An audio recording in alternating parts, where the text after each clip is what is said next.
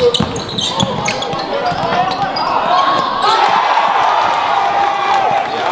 was about three people down there, but I just think the miss the miss was perfect for me. It just fell right in my hand. I just gave it a little tap, um, and uh, just dropped. The way you guys won this 7-0 run to close it, close game like this, is this a confidence booster? And what kind of confidence booster Most definitely. it? Uh, I think we going coaches told us we we we we uh, we moving up. We we growing together, and uh, it's just something uh, we needed. We needed this win.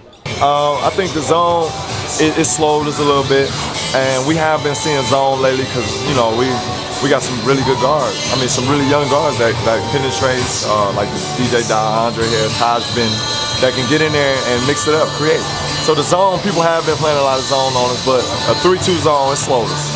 And I mean, that was just a great scout report about a, about a really good coach. You know, he came out, he knew that it had staggered us for a little bit, and it kind of staggered us until we adjusted to it. And you know, we hit some big shots, but yeah, definitely, we we gonna see the zone a lot. It was, it was it was definitely a good win for our young young boy. Like I said, we we're gonna have that team for the next two years. You know, so it's it's it's part of the process. And what I told him in the locker room, you can't cheat the process. You can't. You never know when it, when when your team is gonna click or when it's gonna strike for being, them being so young. But you know, hope we getting better. Like we in this baby steps and we taking them. We we rolling now. We it's, it's great. It feels good to to get a back to back on on a tough road game. It feels real good.